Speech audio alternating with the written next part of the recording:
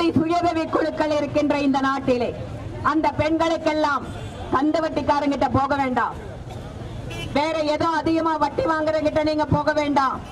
இருபது லட்சம் ரூபாய் வரை எந்தவித உத்தரவாதம் இல்லாமல் பெண்களை நம்பி சுயதவி குழுக்களுக்கு கடன் கொடுத்து கொண்டிருப்பவர் பிரதமர் மோடி அவர்கள்.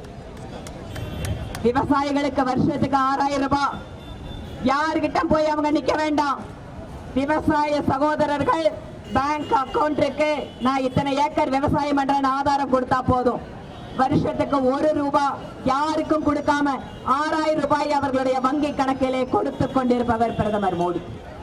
இந்த நாட்டினுடைய இளைஞர்களுக்கு அவர்களுக்கான வேலை வாய்ப்புகள் சொந்தமாக தொழில் துவங்குவதற்கான வாய்ப்புகள் முத்ரா திட்டத்திலே அதிகமாக பலன் பெற்றிருப்பது தமிழகம்.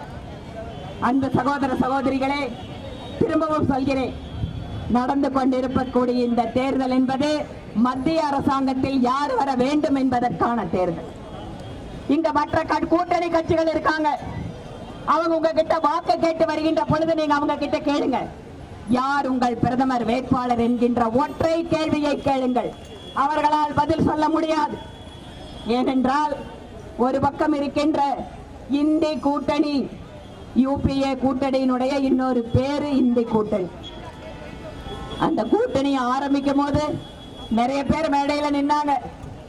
கூட்டணி ஆரம்பிச்சு நாலு ஸ்டேட்ல போய் நாலு ஸ்டார் ஹோட்டல்ல டீயும் சமோசாவும் சாப்பிட்டதுக்கு அப்புறம் அந்த மேடையில் இருக்கிற ஒவ்வொருத்தரா பிரதமர் மோடி அவர்களிடம் சேர்ந்து விட்டார்கள்.